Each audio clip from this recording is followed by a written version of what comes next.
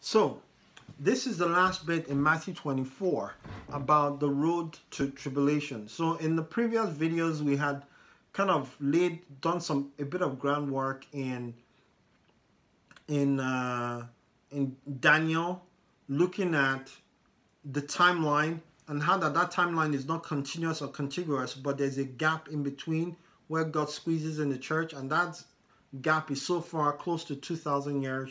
Personally, I think that gap is nearing an end. There's several reasons for that. On the one hand, I believe that gap is not going to last more than 2,000 years. Just saying, just my personal perspective. I'm not saying I have a re- a big reason for that other than what Peter said about a day with the Lord being as a thousand years and a thousand years as a day and looking at how that um, our history as, as, as a human race, starting from Genesis 1, appears to follow the same pattern as the six days of creation and the final Sabbath day of rest. We're going to have a Sabbath 1,000 years. I think we follow that model, but I have no empirical reasons for that. So this is me just speculating. Please do not assume I'm trying to create a doctrine out of this. I genuinely think our time is nearly done, especially as I see the events unfolding, but I could be wrong. You know, the age of the church could last another thousand years. Quite frankly, I doubt it. Um, it could last another few years, it could last another few months. Quite frankly, personally, I genuinely believe we could be out of here before this video is done. We could be out of here before you finish watching this video. We could be out of here before next week is done. I don't know when. The point is, I think our time here is very, very short. So we need to do as much as we can, warn as many as we can, as quickly and as as as um, with as much gravity and as much seriousness and integrity as we can before we are taken out of here. Because once we are taken out of here, it's not going to be pleasant for those who are left behind. Okay? Now, so I, I wanted to very quickly deal with the remaining verses of Matthew 24. And the, the remaining verses of Matthew 24 start set the tone or set the stage for the verses of Matthew chapter 25, especially when it starts to talk about the various parables that uh, are with respect to the kingdom, and in particular, the parable of the um, the parable of the ten virgins, which, which many people assume is again, they many people make the assumption that that's the rapture, and it's talking about believers being the ten virgins and so on. And unfortunately, well, fortunately and unfortunately, that's not true. Um, and I'll, I'll treat that. That's not what I want to talk about now. What I want to talk about now is is actually very simple, straightforward, but it doesn't mean it's easy. What I mean by it's easy, I'm talking about its obedience. Because the thing about the Word of God is that it's not sufficient to hear it, it's not sufficient to understand it. It is important that we adhere to it, we comply with it, we obey it. Because when we obey, the Bible says we then we are no longer forgetful hearers who look at themselves in the mirror and walk away immediately forgetting what manner of men we are according to james chapter 1 i believe right? But that we become doers of the work. That's the whole point of all this. All this is pointless if all you do is keep it here. If it's not reflecting itself in your conduct if it's not reflecting yourself in a sense of urgency if it's not reflecting itself in a sense of pre preparedness then it would have been entirely pointless now in verse 45 of Matthew 24, Jesus says, Who then is a faithful and wise servant, whom his Lord hath made ruler over his household, to give them meat in due season? Blessed is that servant, whom his Lord, when he comes, shall find so doing. In other words, Jesus wants that when he comes back, and by extension, when the rapture takes place as well, you are found doing what you were asked to do. He says, Verily I say unto you, verse 47, that he shall make him ruler over all his house, or over all his goods. But, and if that evil servant shall say in his heart, My Lord delayeth his coming, and shall begin to smite his fellow servants, like people are doing today, and to eat and drink with the drunken, the Lord of that servant shall come in a day when he looketh not for him, in an hour that he is not aware of. Now, this is not very different from what happened with the Jews when Jesus Christ came the first time. because they had not taken the word of God seriously, because they had not looked at the prophecies in Jeremiah, in Daniel, in Isaiah, and taken the scripture seriously, they did not recognize his coming the first time. Which is interesting when you consider that the wise men and again, like I said, I was speculating, I think it was I've been in the second or third video. I speculated about the wise men who came from the east, that they must have come from Babylon and they must have followed the school of thinking and teaching of Daniel, recognized the signs, and traced where Jesus was going to turn up.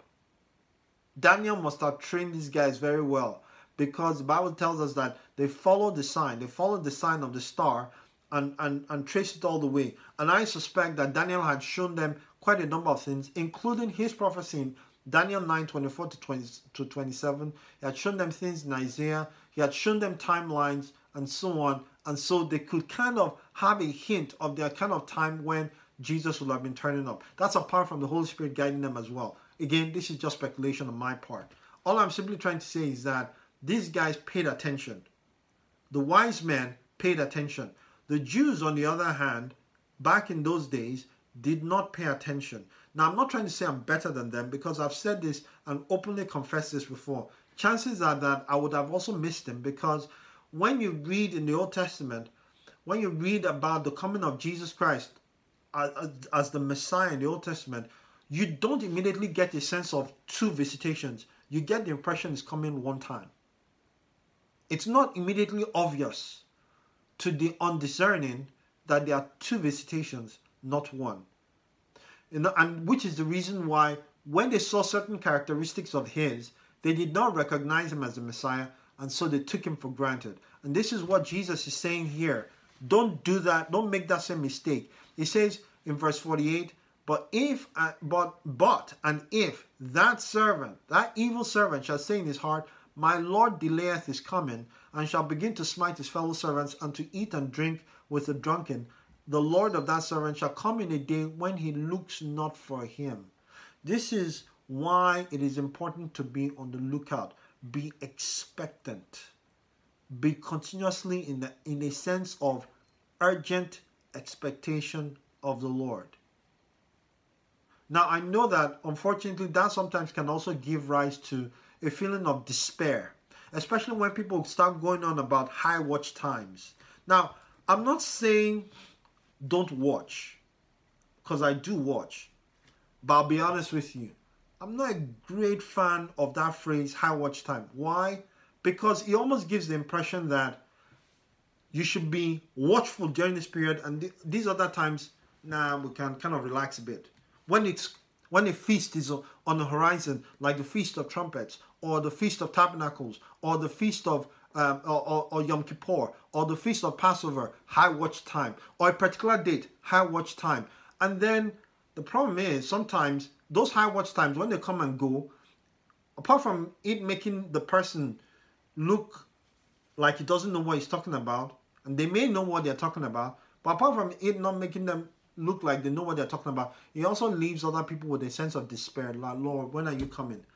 And I feel it too, because even though I'm not one for high watch times and all that stuff, I'm perpetually in a state of waiting, eagerly anticipating hearing my name or hearing that trumpet or hearing a combination of the two and then hearing the words come up hither and then we're gone. But in the meantime, where every day I see this world getting worse and worse and I'm still here. I am in a state of, Lord, when? Lord, when? And so I feel the same sense of despair that everybody else feels. But it is better to have that sense of despair of, Lord, when are you coming? Lord, we are so desperate for you to come.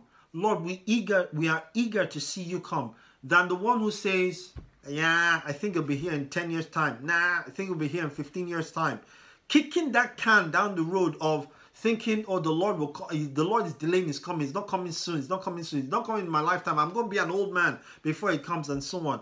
What they fail to realize is this.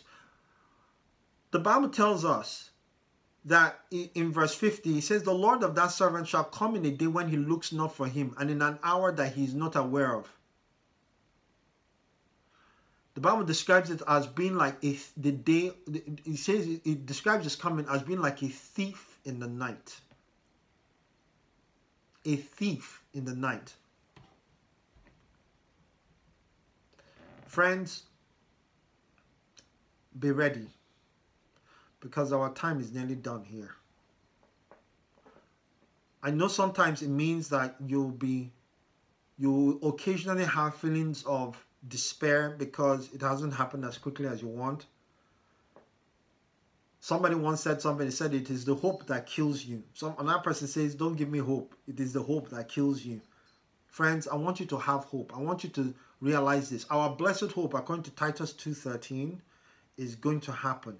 It's a question of when, not if. I'll stop here. Take care of yourselves. This marks the end of our conversation about Matthew 24. Any other conversation about Matthew 24 will probably happen in the comment section. Take care. God bless you. Thank you. Bye.